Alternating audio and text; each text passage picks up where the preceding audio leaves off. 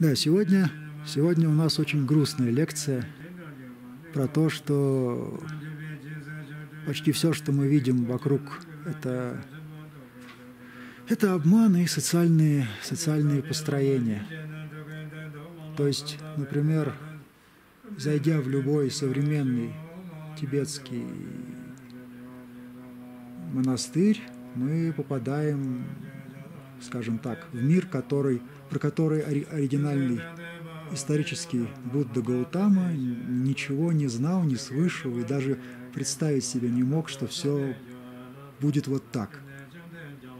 Будда в первую очередь был обыкновенным аскетиком, то есть, э, опять же, это не какой-то там героический персонаж, это человек, который, ну, у которого минимум, абсолютный минимум вещей, у которого нет собственности, кроме всего лишь нескольких там роба, чаша.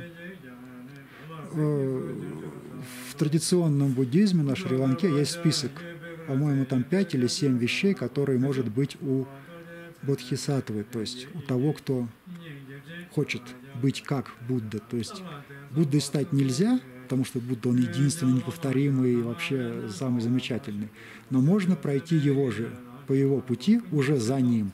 И человек, который избрал пройти этот путь, он называется Бодхисаттва и, как сказать, ну, по крайней мере, в ортодоксальном буддизме у него может быть всего лишь несколько предметов в собственности.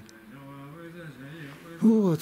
А здесь э, как бы есть люди, специалисты, как, как они себя считают, которые изучают ту или иную традицию, пишут книги, книг очень много. Мы вам даже показывали магазин, в котором несколько квадратных метров стеллажей.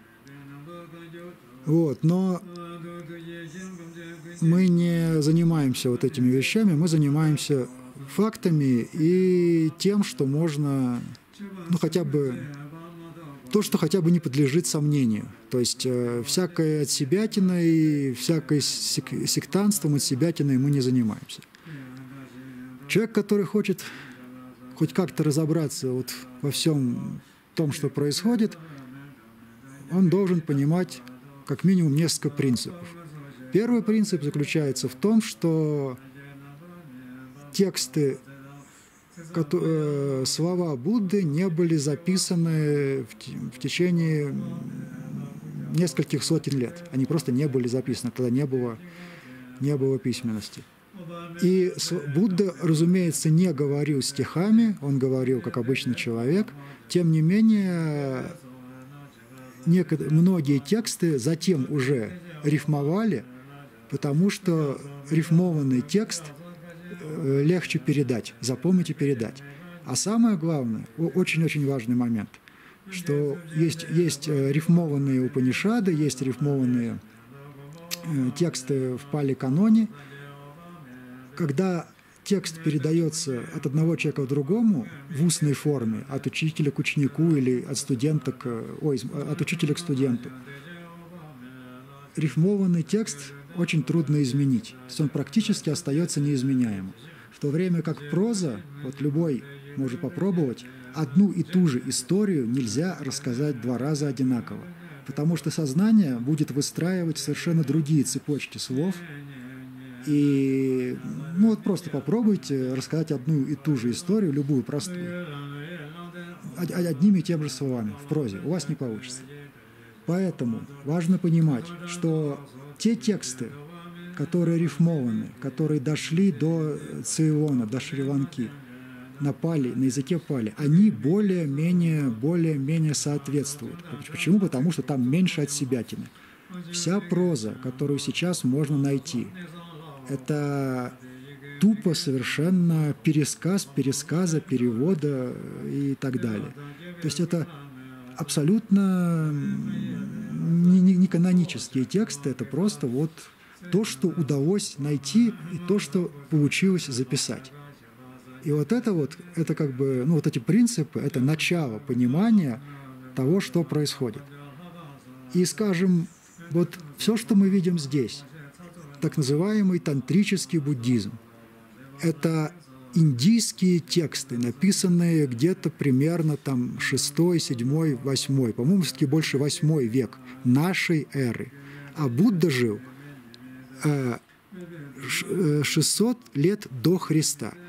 То есть это означает тысяча с лишним лет просто разница.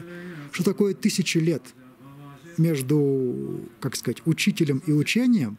Там, скорее всего, не осталось вообще ни одного оригинального слова. Другое дело, что те принципы, которые Будда, которые Будда как учитель э,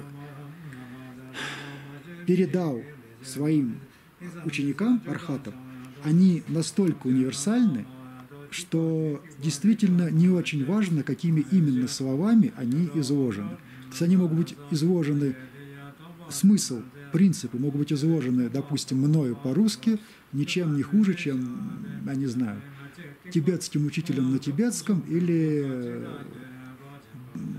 взято откуда-то из старого манускрипта на санскрите или пали. Потому что дело не в конкретных словах, а дело в принципах. А понимание принципов освобождает от необходимости запоминать детали. 对,